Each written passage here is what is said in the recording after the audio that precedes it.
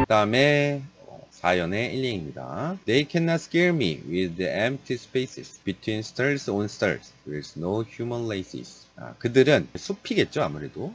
it은 들판으로 받고 숲 은 복수로 많이 받았으니까요. 숲은 cannot scare me. 나를 놀라게 할 수 없다. 나에게 겁줄 수가 없다. 무엇으로? Their empty space. 그들의 텅 빈 공간으로. 그래서 저는 이제 미를 주어로 해석해서 그들의 텅 빈 곳으로 나는 겁나지 않는다. 이렇게 표현한 거고요. 그 다음에 이행 between stars on stars where. where 이하는 stars를 수식하는 것 같고요.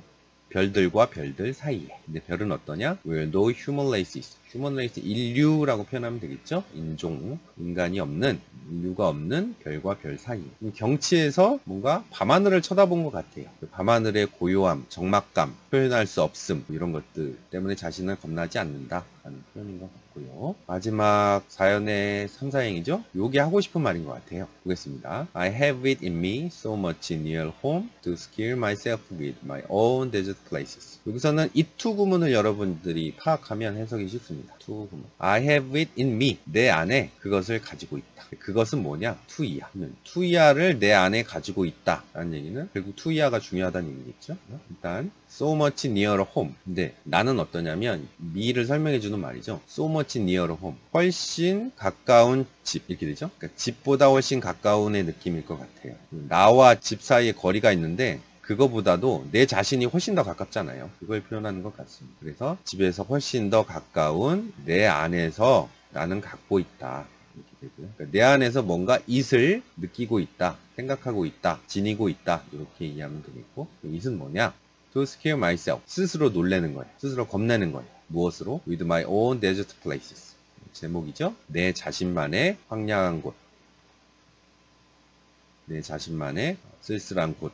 스스로 내 스스로 놀래고 있다. 그래서 나는 집에서 훨씬 가까운 내 안에서 나만의 황량한 곳에 스스로 겁내고 있다. 주변에 있는 외로움을 주는 이런 경치들, 밤하늘의 경치들, 아니면 앞에 처음부터 쭉 열거 있었던 밤의 그런 숲길, 또 들판, 이런 것들의 고독감이 있긴 하지만 그 무엇보다도 내 안에 있는 나만의 황량한 곳에서 나는 더 놀라고 더 무서워하고 있다 겁내고 있다. 그런 표현 있죠. 뭐, 뭐, 귀신도 무섭고 또는 범죄자도 무서울 수 있겠지만 가장 무서운 건 내 자신이다. 뭐 이런 식으로 사람 사이의 관계 사람 속을 알 수가 없다. 그런 느낌처럼 어떤 경치나 밤하늘의 모습보다도 내 자신의 desert place가 자기는 가장 겁난다. 시를 쓰면서 뭔가 지금 자신이 시 쓰기를 하는 작업에서 매너리즘을 느낀다든지 시 쓰는 작업에서 뭔가 싫증을 느낀다든지 허무함을 느낀다든지 그런 것들을 오히려 겁내고 있지 않는가 라는 느낌으로 우리가 시를 이해할 수 있을 것 같습니다. 명상시가 참 많아요. 로버트 프로스트 그리고 우리가 쉽게 어렵지 않게 또 접할 수 있는 시라고 생각이 듭니다. 그러면 짤막하게 요약문 한번 볼까요? 첫 문장 읽겠습니다. Desert Places by Robert Frost uses a snowstorm and the fall of the night as a metaphor for inner loneliness, depression, and feelings of desolation. uges가 동사죠, 그죠? 로버트 프로스트의 Desert Place, 황량한 곳이라는 시는 뭘 사용하느냐면 snowstorm, 눈보라, 그죠? 그 다음에 fall of the night, 점점 밤이 되는 것, 뭐로써 as a metaphor, 메타포로서 은유로서. 뭐에 대한 은유냐? inner loneliness 내적인 외로움 또는 depression 우울 우울증 다음에 feeling of desolation. desolation은 뭐 적막함 황량함이죠. 황량한 기분 황량한 느낌. 자신의 마음속에 있는 황량한 곳을 겁내고 있다라는 마지막 표현을 feelings of desolation이라고 표현한 것. Frost concludes the poem with its speaker stating that any image of loneliness in the wide world does not scare him. He has enough desert places inside his own mind. 프로스트는 concludes 결론을 내리고 있어요. The poem, 이 시를 무엇으로? With speaker stating that, that 이하라고 stating, 진술하는 그의 화자를 통해서 화자로서 이 시의 결론을 맺고 있는데 that 이하의 주어는 wide world까지죠. Does not scare가 동사 구일 것 같아요. Any image of loneliness in the wide world. 더 넓은 세상. The wide world라고 표현한 거는 지금 경치뿐만 아니라 밤하늘도 사람들이 살지 않는 그 별들과 별들 사이까지 얘기해서 wider world라고 표현한 것 같습니다. 더 넓은 세상에 loneliness, 외로움, 고독의 이미지, 어떤 이미지도 does not scale, 겁주지 않아요. 그를. 근데 그 다음은 이유가 될 법한 문장을 쓴 것 같아요. 왜냐하면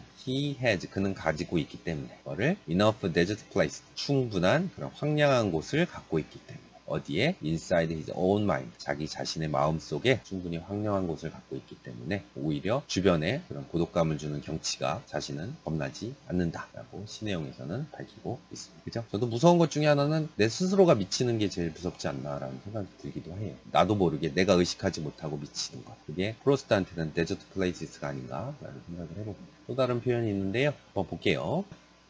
The poem is considered one of the first darker and, and more somber poems focusing on the terrifying nature of existence. 여기는 terrifying nature of existence라는 표현을 썼네요. 이 시는 is considered 판단됩니다. 간주됩니다. 고려됩니다. 무엇으로? 어느 것 중에 하나냐면 first darker and more somber poems 이렇게 있죠.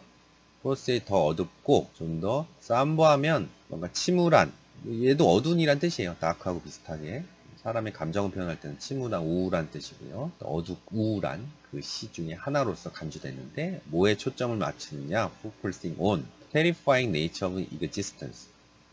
겁을 주는 여기서는 본성이 좋겠죠? 존재의 겁나는 본성 초점을 맞추고 있어요. 스스로 겁내고 있다 그랬잖아요. 자기 마음속의 황량한 곳 때문에. Additional themes are one of the loneliest fear and despair. 그 단어들을 loneliness, fear, despair라고 표현한 것 같습니다. 추가적인 주제어가 뭐가 될 수 있냐면 고독, loneliness, fear, 공포, despair, 절망 이런 것들이 될 수 있습니다. The poem opens with the speaker passing by an empty field during a snowstorm around dusk. 이 시는 처음에 서두를 어떻게 시작하냐? opens with the speaker passing by an empty field. 텅 빈 들판을 지나가는 화자로부터 시작합니다. 언제? During the snowstorm around dusk. dusk. 황혼 때에 어두워질 즈음에 눈보라, 눈이 내리는 동안에 As the field is covered with snow, the speaker contemplates the blankness and the whiteness of the snow. 뭐할 때가 좋겠죠, 예전은. 들판이 is covered with snow. 눈으로 뒤덮여 있을 때. The speaker. 화자는 contemplate. 명상합니다. 곰곰이 생각합니다. 뭐를? blankness와 whiteness를 of the snow. 눈의. 눈의 공허함과 순백. 그죠? 처음에는 순백으로 봤다가 더 공허함. blanker라는 표현이 있었죠. 그죠? The speaker then turns its contemplation to the night sky with the empty spaces between stars. The speaker then 화자는 그리고 나서 turn A to B네요. A를 B로 바꿉니다. A가 his contemplation 그의 명상을 공허함, 눈의 공허함, 순백을 the night sky 밤하늘로 바꿉니다. 무엇으로? 이건 인용된 내용에서 코테이션은 다른 거죠. with the empty spaces between stars 별들 사이에 텅 빈 공간으로 밤하늘로 바꿉니다. The poem shares a similar landscape to the first poem, stopping by woods on a snowy evening. 이 시도 유명합니다. Stopping by woods on a snowy evening. 이거는 임용 시험에 출제된 걸로 알고 있는데요. 눈이 오는 저녁에 Stopping by woods. 어, 숲 근처에 잠깐 멈춰 서서 라는 시가 있는데요. 비슷한 느낌의 시입니다. 이 시는 공유하고 있습니다. Similar landscape. 비슷한 경치를. 프로스트의 다른 시인 눈이 오는 저녁에 숲 근처에 서서 라는 시와 비슷한 고독감을 표현하고 있는 내용이기도 합니다. 이 시는 언젠가 또 다룰 기회가 있을 거라고 생각이 듭니다. 교재에 있으니까요. 제가 처, 서두의 정막강산이라는 표현을 많이 쓴다라고 한적 있었죠. 저는 황량한 곳이라고 표현을 했었고 여러분들은 어떤 표현이 더 좋을지는 여러분들 판단에 맡기겠습니다. 한국 시인 중에서도 백석이라고 아주 유명한 시인이 있습니다. 백석의 정막강산이라는 또 시가 있는데요. 분위기가 조금 비슷해요. 다른 내용을 다루기는 하고 있지만 지금 데저트 플레이시스는 시각적인 이미지가 굉장히 강하죠. 그죠? 밤하늘 눈의 모습인데 백석의 정막강산은 뭔가 산소리, 벌소리, 뭐 뻐꾸기 소리, 새소리 그런 청각적인 이미지와 외로움들을 결합해서 추구하는 표현이고 마지막 표현이 정막강산에 나는 있노라 뭐 이런 식으로 결론이 내는 내용이었거든요. 뭔가 밤하늘의 경치에 외로움과 그러니까 경치가 다가왔을 때 느끼는 외로움은 동양이나 서양이나 비슷하게 다가오는 게 아닌가라는 생각을 해봅니다. 오늘은 여기까지 하겠습니다. 고생하셨습니다.